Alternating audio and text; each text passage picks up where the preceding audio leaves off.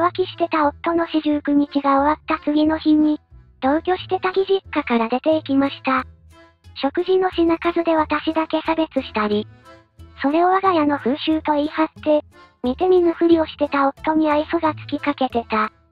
夫婦生活も姑に聞き耳を立てられてるのがわかり、さすがにマザコン男も嫌になったのかレスに。それが原因で不倫に走ったのか、不倫が原因でレスなのかは微妙なところ。同居して全方位的な上に、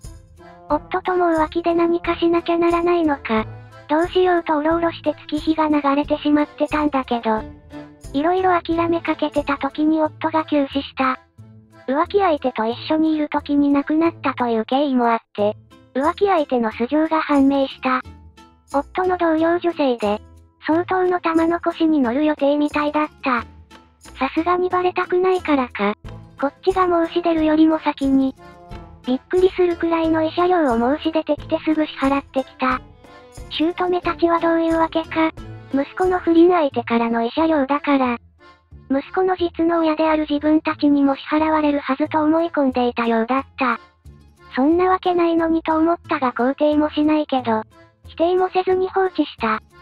嫁は血のつながりがないけど、血のつながりのある親には倍は支払ってくるはずという意味のことを何度も言ってた。お葬式の後、2世帯の2階部分が全部私たちの住居だったのに、一番狭い一部屋だけが私の部屋になった。いつの間にか義妹夫婦が使い出してた。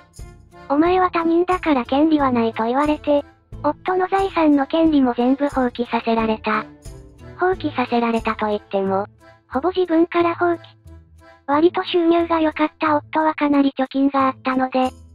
それを知ってた姑は私に渡したくなかったんだと思う。葬式もまだな時に放棄しろと迫ってきてた。でも私は夫が不倫でラリって出張という名の豪華不倫海外旅行で、ほぼ散財してたのをうすうす知ってたのと、2世帯のローンがかなりある上に、亡くなってもチャラにならないのは分かってたので、初七日前に自分だけきちんと放棄させてもらった。相続しても得になるどころかかなりマイナスなことを黙って、姑に従って放棄したかのように振る舞った。でもちゃんと第三者の人に入ってもらって、夫の財産がマイナスなことも分かってた上で、姑は持っていったので私のせいじゃないはずと思うことにしてる。そんなことない。息子ちゃんは優秀だから一見マイナスに見えるけど本当はちゃんとあるはず。とブツブツ言ってたけど、嫁に莫大な遺産を放棄させて、息子の不倫相手からも巨額の慰謝料もらって、可愛い娘も同居、婿はできれば消えてほしいが、嫁は家にお金を入れて家事もして乙女の介護もして、みんな幸せという夢を見てたらしい。それにも OK は言わないけど嫌とも言わずそのつもりにさせておいて。四十九日目処にさっさと逃げ出した。一周期もばっくれたし、三回忌も七回忌も無視する予定。嫁に介護させる気で親戚に見栄を張り、大乙女を即引き取って連れてきた舅を止めなかった。出てくるすぐ前に義妹の夫に色々これら本当のことをこっそり耳に入れてきた。どうするのかまでは責任持つつもりもなく義妹夫婦に亀裂も入れてきた。義妹夫もほぼ騙し討ちのように強引に同居させられた形だし、そこから先は自分で考えてと言ってほったらかしにしてきた。不倫相手から慰謝料がもらえないと分かった姑が、不倫相手の実家と会社に乗り込んで彼女は玉の腰がやばいという話。変な義実家と縁切りのために、実家と私の祖父母家引っ越し新築のためにお金を使ったので、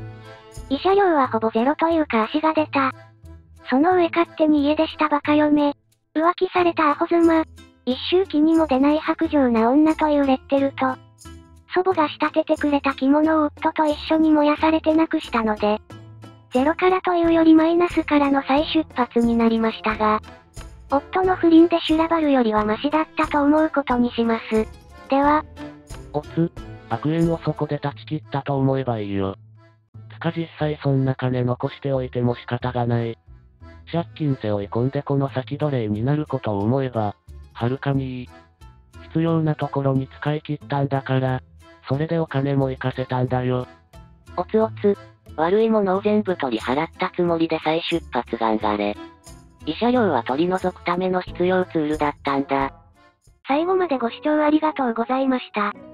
皆様の感想よろしかったらコメント欄でお聞かせください。励みになりますのでチャンネル登録高評価よろしくお願いいたします。